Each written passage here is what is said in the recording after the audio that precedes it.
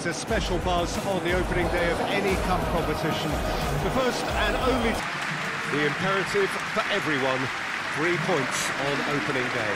Well, Peter, both of these teams will take to the pitch with a three-point focus. Ambition is fresh and strong, and each will want to go deep into the competition, so neither will be looking to come out of this with a, a flawed game plan. This has to be assured and close to their best. There's the whistle. Diakabi.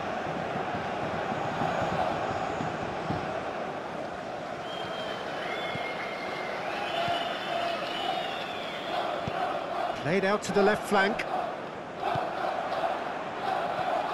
Oh, the shot could be on here. Shot a goal! That's a half-decent try. A more than decent attempt, Peter.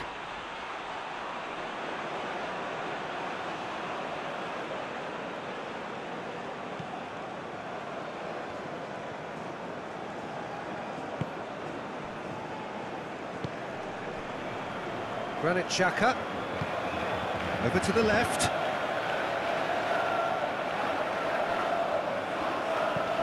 Played in with accuracy.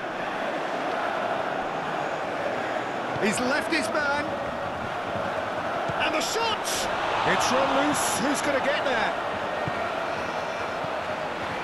Well, this is turning out to be a lively old game. Yeah, especially in those wide areas, something the team have cleared. Face, it's Diakabi! Great build-up. It all deserved a better ending. Well, I think they can breathe a massive sigh of relief then. Such a let-off. Now it's Schick.